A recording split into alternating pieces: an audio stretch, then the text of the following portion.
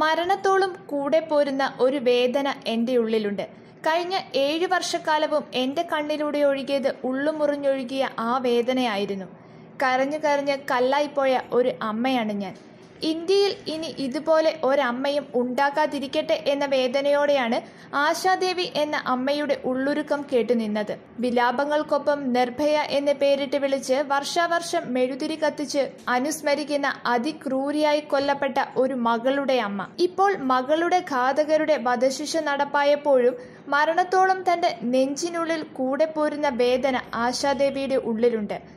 മരണത്തോട് മല്ലടിച്ച് ആശുപത്രിയിൽ ബോധമില്ലാതെ കിടന്ന നാളുകളിൽ നേർത്ത ഒരു അനക്കത്തിനിടെ അവൾ ഒരു തുള്ളി വെള്ളം ചോദിച്ചിരുന്നു. അത് നൽകാൻ തനിക്കായില്ലല്ലോ എന്ന വേദന മാഞ്ഞു പോകാതെ ഇപ്പോഴും ഉള്ളിൽ കല്ലു കെട്ടിക്കിടക്കുകയാണെന്ന് അവർ നിറകണ്ണുകളോടെ പറഞ്ഞു. ഭൂമിയിൽ മറ്റൊരു മൃഗവും മനുഷ്യനെ മുറിവേൽപ്പിക്കാത്ത വിധത്തിൽ അതിക്രൂരമായി വേട്ടയാടി ചോര വാർന്നു കിടക്കുന്ന തന്റെ മകളുടെ ദൃശ്യം ഇപ്പോഴും കൺമുൻപിലുണ്ട്. ആ ഓർമ്മ മാത്രമാണ് ഉയിരിനെ ഇന്ന് പുലർക്കാലത്തേക്ക് കൂടെ ഉണരാനുള്ള കരുത്തോടെ പിടിച്ചു നിർത്തിയതെന്നും അവർ പറയുന്നു. എട്ട് വർഷത്തെ അവരുടെ കാത്തിരിപ്പ് കാലത്തിനും കോടതികൾക്കും തൂക്കുകയറിനും ഇടയിലായിരുന്നു എന്നു തന്നെ പറയാം. ലോകത്ത് തന്നെ മറ്റൊരു മാതാപിതാക്കൾക്കും നേരിടേണ്ടി വന്നിട്ടില്ലാത്ത രാപ്പകലുകളിലൂടെയാണ് ഇക്കാലം അത്രയും ആശാദേവി എന്ന അമ്മയും ബദ്രി സിംഗ് എന്ന അച്ഛനും കടന്നുപോയത്. ഇന്ത്യയിൽ ഇനിയൊരു അമ്മയുടെയും ഓർമ്മകളിലേക്ക് ഇതുപോലെയൊരു രാത്രി കടന്നു വരാതിരിക്കാൻ തന്റെ മകളുടെ ജീവൻ ഇറുത്തെടുത്ത കുറ്റവാളികളുടെ മരണദണ്ഡം കൊണ്ടു മാത്രമേ കഴിയൂ എന്ന് ആശാദേവി എന്ന അമ്മ ഉറച്ചു വിശ്വസിച്ചു. നിർഭയ കേസിലെ പ്രതികളുടെ വധശിക്ഷ ശരിവെച്ച് കോടതി വിധി വന്നപ്പോൾ തന്റെ വേദനിക്കുന്ന മുറിവുകൾക്ക് മേൽ പുരട്ടിയ മരുന്നു പോലെയായിരുന്നു ആ വാർത്ത എന്നായിരുന്നു അവരുടെ ആദ്യ പ്രതികരണം.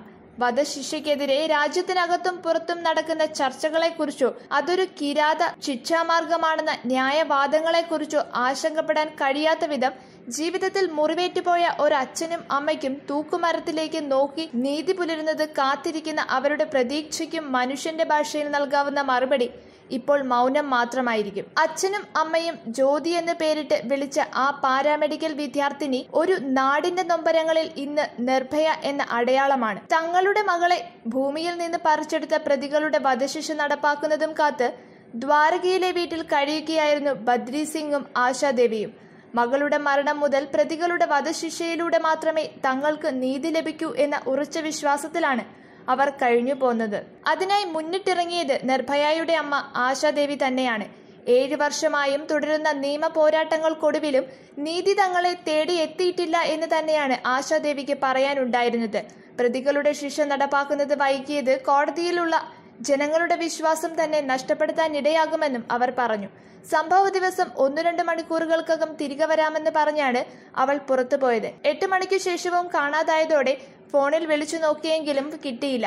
പിന്നീട് മകനെയും കൂട്ടി ബസ് സ്റ്റാൻഡുകളിൽ പോയി നോക്കിയെങ്കിലും കണ്ടെത്താനായില്ല. പത്തു മണിയോടെ അച്ഛനും എത്തി തെരച്ചിൽ തുടങ്ങി. പതിനൊന്ന് മണിയായപ്പോഴാണ് സഫ്ദർജംഗ് ആശുപത്രിയിൽ നിന്ന് വിളിയെത്തുന്നത്. മകൾ പരിക്കേറ്റ നിലയിൽ അവിടെ ഉണ്ടായിരുന്നു എന്നായിരുന്നു അറിയിപ്പ്. ആശുപത്രിയിലെത്തി. എന്നെ കണ്ടതും നേർത്ത ബോധാവസ്ഥയിലും അവളുടെ കണ്ണുകൾ നിറഞ്ഞൊഴുകി. ഓപ്പറേഷൻ റൂമിലേക്ക് കൊണ്ടുപോകുമ്പോൾ അവൾ രക്തത്തിൽ കുളിച്ചു കിടക്കുകയായിരുന്നു. അവളുടെ ചുണ്ട് രണ്ടായി പിളർന്നിരുന്നു. തലയിലെ തൊലി ഉരിഞ്ഞെടുത്ത പോലെയായിരുന്നു. ശരീരം നിറയെ മുറിവുകളും ചതവുകളുമായിരുന്നു. പല മുറിവുകളിലും മാംസം തന്നെ പുറത്തു വന്ന നിലയിലായിരുന്നു. എന്ത് ചെയ്യണമെന്ന് ഒരു പിടിയും കിട്ടുന്നില്ലായിരുന്നു എന്ന് ഡോക്ടർ ആദ്യം പറഞ്ഞത്. ആദ്യം എന്തിന് ചികിത്സ നൽകണമെന്ന കാര്യത്തിൽ ഡോക്ടർമാർ പോലും ആശയക്കുഴപ്പത്തിലായിരുന്നു എന്നും ആശാദേവി ആ ദിവസങ്ങളെക്കുറിച്ച് വിശദീകരിച്ചു. നിർഭയ കൊല്ലപ്പെട്ട ഡിസംബർ പതിനാറിന് തന്നെ പ്രതികളുടെ വധശിക്ഷ നടപ്പാക്കണമെന്ന് മാതാപിതാക്കൾ ആവശ്യപ്പെട്ടിരുന്നു. എന്നാൽ വിധിക്ക് മേൽ ഉള്ള പുനഃപരിശോധനാ ഹർജി സുപ്രീം കോടതി പരിഗണിക്കുന്നതിന്റെ പശ്ചാത്തലത്തിൽ അത് വീണ്ടും വീണ്ടും നീണ്ടുപോകുകയായിരുന്നു. കഴിഞ്ഞ ഡിസംബർ പതിനെട്ടിന് അതീവ വൈകാരിക രംഗങ്ങളാണ് കോടതിക്കുള്ളിൽ നടന്നത്. വധശിക്ഷ ഏർപ്പെടുത്തുന്നതിന് മുൻപ് പ്രതികളുടെ നിയമപരമായ അവകാശങ്ങൾ നിർവഹിക്കേണ്ടതുണ്ടെന്നും കോടതി ചൂണ്ടിക്കാട്ടി. എവിടെ പോയാലും പ്രതികളുടെ അവകാശത്തെക്കുറിച്ച് മാത്രമാണ് പറയുന്നതെന്നും ഞങ്ങൾക്കും അവകാശങ്ങളില്ലേ എന്നും നിർഭയയുടെ അമ്മ കരഞ്ഞുകൊണ്ട് കോടതിയോട് ചോദിച്ചു. നിങ്ങളെ കേൾക്കാനും പിന്തുണയ്ക്കാനുമാണ് കോടതി ഉള്ളതെന്ന് ചൂണ്ടിക്കാട്ടിയ ജഡ്ജി നിയമങ്ങൾ പിന്തുടരാൻ കോടതി ബാധ്യസ്ഥരാണെന്നും വ്യക്തമാക്കുകയുമാണ് ചെയ്തത്.